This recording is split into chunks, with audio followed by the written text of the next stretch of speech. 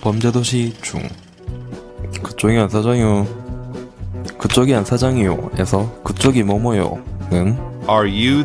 안 사장 하면 그쪽이 책임자요. 정도로 이역해서 책임자를 the one in charge? 써서 여기서 책임자. The one in charge here? 그럼 다 합쳐서 그쪽이 안 사장이요. Are you the one in charge here? 이어서 the one은 가수가 아니라 someone 누군가 anyone 아무나 each one 각각처럼 불특정한 누군가를 지목할 때 쓰는 대명사입니다 그쪽이 안 사장이요 Are you the one in charge here? 자 다시 한번 Are you the one in charge here? 아 이 프로젝트 완전 개판이네 담당자 누구야 I'm in charge of this project. 좋아요는 thank you 구독은 I love you